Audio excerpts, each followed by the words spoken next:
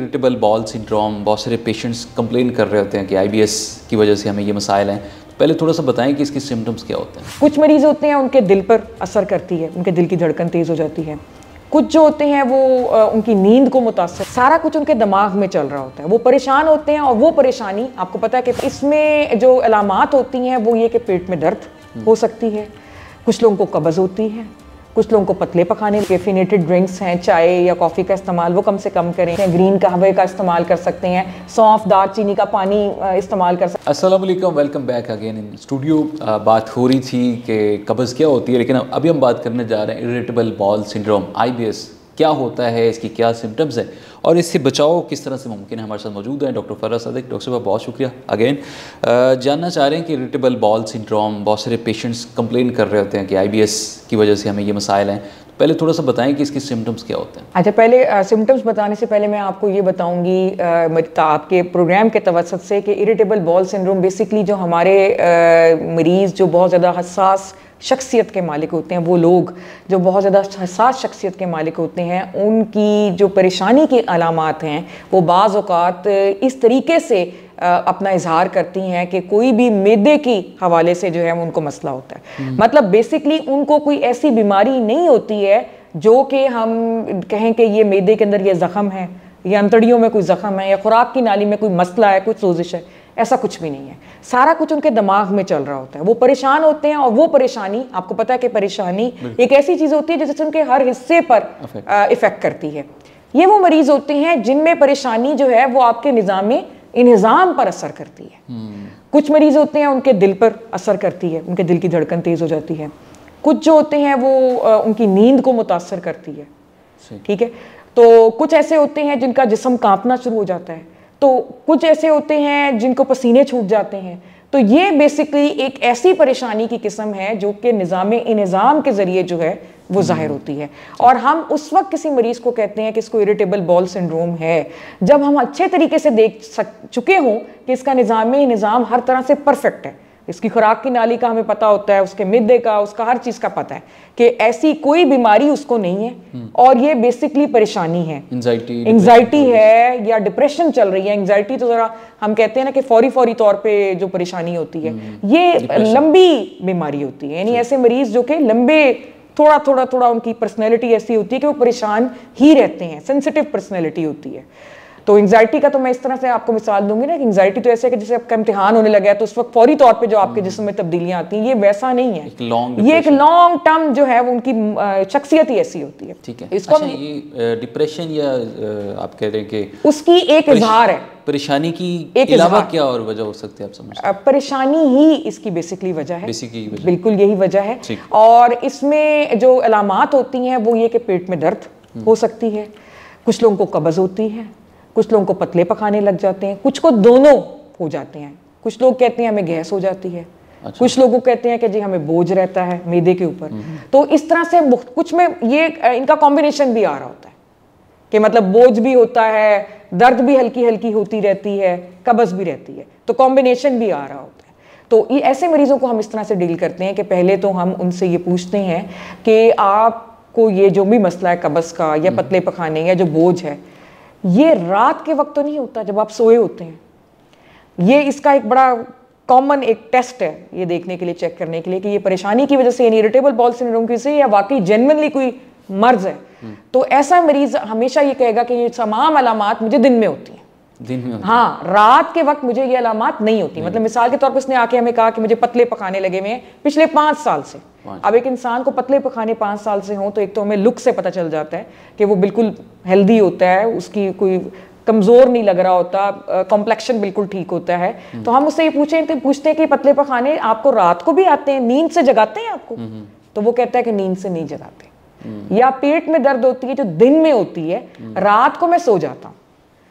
तो अगर पेट में दर्द है किसी जनरल मसले की वजह से तो वो तो रात को भी नहीं आपको सोने देगी। तो इससे हमें आइडिया हो जाता है। दूसरा मरीज़ को देख कर कि जी वज़न तो नहीं आपका कम हुआ। बाज़ मरीज़ ये कहते हैं कि हाँ जी वज़न कम हुआ है। तो जब हम उससे पूछते हैं केजीज में कितना लूज हुआ है तो वो कहते हैं नहीं जी केजीज में तो कोई लूज नहीं हुआ। यानी उसकी अपनी एक फीलिंग्स होती हैं कि मेरा वज़न कम हो रहा है लेकिन होता नहीं। तो ये बेसिकली ये टेस्ट हमारे लिए है डॉक्टर्स के लिए कि हमने Diagnose इसकी तशखीस कैसे करनी है। फिर उसके पे भी हम बस ये नहीं करते कि हम उसे कहें कि नहीं ये बस इसको हमने इरिटेबल बॉल सिंड्रोम लेबल कर दिया। हम फिर उसके टेस्ट करवाते हैं कि एक बंदा जिसको पाँच साल से भूख नहीं लग रही या पेट में दर्द है या कब्ज है या पतले पकाने हैं हम उसका फिर टेस्ट मुख्तलिफ़ हीमोग्लोबन वगैरह करवा के देखते हैं। खून की कमी तो नहीं है। नहीं स्पेसिफिक टेस्ट यही है ना कि हम आ, उसके पखाने का टेस्ट करके देखेंगे कि उसमें कोई मसला तो नहीं आ रहा खून तो नहीं आ रहा या कोई जरसूमा तो नहीं है जो उसको तंग कर रहा है। फिर हम ये देखते हैं कि हीमोग्लोबिन उसका ठीक है यानी खून की कमी तो नहीं है। फिर उसमें जो मुख्तलिफ़ किस्म के न्यूट्रिएंट्स या गजाई अज्जा होते हैं अगर एक बंदे को पाँच साल से मसला चल रहा है तो फिर उसमें तो कैल्शियम भी कम होना चाहिए फॉस्फेट वाइटामिन डी ये सारा कुछ कम होना चाहिए। तो वो हम करवाते हैं वो सारे हमारे पास नॉर्मल आते हैं। उससे हमें ये अंदाज़ा होता है कि ये इसको बेसिकली इरिटेबल बॉल सिंड्रोम है और कोई जनवन मसला आ, मतलब जनवन तो ये है मैं बार बार इस चीज़ का ज़िक्र कर रही हूँ कि जनवन तो ये है प्रॉब्लम तो ये है लेकिन खुदा ना खास्ता ऐसी बीमारी नहीं कि जिससे आप डर जाएँ जिससे आपकी ज़िंदगी को खतरा हो। तो ये मैं कहना चाह रही हूँ। अच्छा इसके इलाज की तरफ़ आते हैं। इलाज क्या समझती हैं कि क्या एज अ मेडिकल समझते हैं कि क्या होना चाहिए अच्छा इसमें भी वही है कि डाइट का हम मरीज़ों को बताते हैं कि डाइट आपने जो है उसमें आपके अंदर की जो कैफिनेटेड ड्रिंक्स हैं चाय या कॉफ़ी का इस्तेमाल वो कम से कम करें हम्म। ये कोला ड्रिंक्स फिजी ड्रिंक्स जो हैं ये कम से कम इस्तेमाल करें फिर उनको हम बाकायदा डाइट चार्ट्स न्यूट्रिशनिस्ट से बनवा के देते हैं कि ये डाइट आपको आपने खुद भी एक तो ऑब्ज़र्व करना है हम्म। कि ये खुराक आपको लगता है कि अगर आपको ख़राब कर रही है उनको पता होता है मरीज़ों को कि जी जब मैं ये चीज़ खाता हूँ तो मैं मेरा मसला हो जाता है तो एक तो हम कहते हैं उनको अवॉइड करें। फिर उसके बाद कुछ डाइट्स होती हैं, जैसे कॉन्स्टिपेशन जिसमें प्री है, यानी कब्ज़ जिनको है, उनको फिर हम कुछ अद्वियात ऐसी देते हैं, जिसकी वजह से वो कब्ज़ उनकी जो है वो दूर हो जाए। डायरिया है तो उसके लिए कुछ और अद्वियात तजवीज़ करते हैं, जिससे डायरिया जो है दूर हो जाए। अगर पेट में दर्द है तो उसके लिए कुछ अद्वियात होती हैं। ये तकरीबन हम छः महीने से साल जो है ना वो उनको अलामती इलाज जो है वो देते हैं। अगर इससे फ़र्क ना पड़े एक साल हो जाए तो फिर हम उनको परेशानी की दवाई भी बीच में ऐड करते हैं। अगर उससे भी फ़र्क ना पड़े तो फिर हम उनके सेशंस करवाते हैं उसमें माहिर नफ्सियात को भी बीच में डालते हैं। लेकिन इसमें कोई शक नहीं है कि ये काफ़ी मुश्किल है इसको ट्रीट करना। यानी ये जो इसके मरीज़ होते हैं वो काफ़ी मतलब ये ठीक नहीं होता। वो बेहतर हो जाते हैं लेकिन दोबारा क्योंकि पर्सनैलिटी या शख्सियत तो आपको पता है वो बन जाती है उसको आप बदल नहीं सकते अनलेस के आप बहुत ही कोई डिटर्मेंड मुस्तकिल मिजाज आनी एसाब के मालिक हैं तो आनी एसाब वाले बंदे को तो अव्वल ये मसला होगा ही नहीं तो ये वो लोग होते हैं जो बेचारे थोड़े से नाजुक होते हैं। जो दर्द रखने वाले लोग होते हैं जो हसास लोग होते हैं हम्म। जो थोड़ा शायराना मिजाज रखते हैं तो जो सेंसिटिव होते हैं तो मुश्किल है इसमें लेकिन बहरहाल नामुमकिन तो नहीं है right. तो हम ज़िंदगी की जो क्वालिटी है उसको तो इम्प्रूव कर सकते हैं मरीज़ की कि वो आए हमारे पास जो भी मसला है उसका डिस्कस करे बजाय इसके कि वो घर में बैठा रहे और अपनी ज़िंदगी को आवाज़ार बना ले और अपने घर वालों के लिए भी बना ले और ये सोच ले कि मेरा तो मसले का कोई हल ही नहीं है हाँ। पहली खुशी की बात तो ये है कि उनको ऐसी कोई जानलेवा मसला नहीं है हम्म। दूसरा ये है कि अगर वो अपने डॉक्टर से मशवरा करते रहेंगे तो उनको गाइड करता रहेगा रहनमाई करता रहेगा कि आप इस तरह से कर लें इस तरह से कर लें तो दे नीड हेल्प अच्छा ये बीमारी के जो लोग होते हैं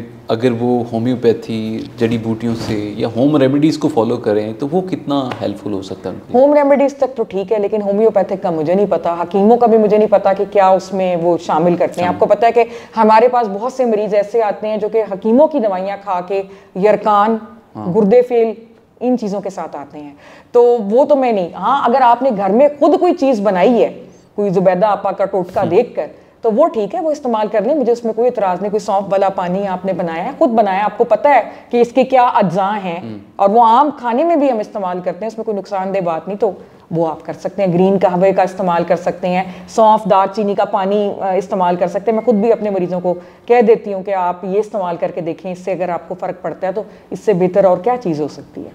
थैंक यू डॉक्टर साहब I really enjoy your conversation that is the real approach to deal to deal the disease जिस तरह से डॉक्टर फराज सादिक बता रही थी कि हम होम रेमेडीज़ uh, वो अज्जा इस्तेमाल करें जो हमें पता है कि इसके न्यूट्रिएंट्स क्या हो सकते हैं।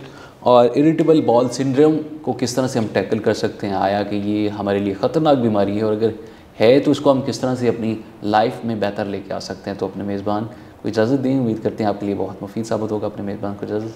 हलाने के बाद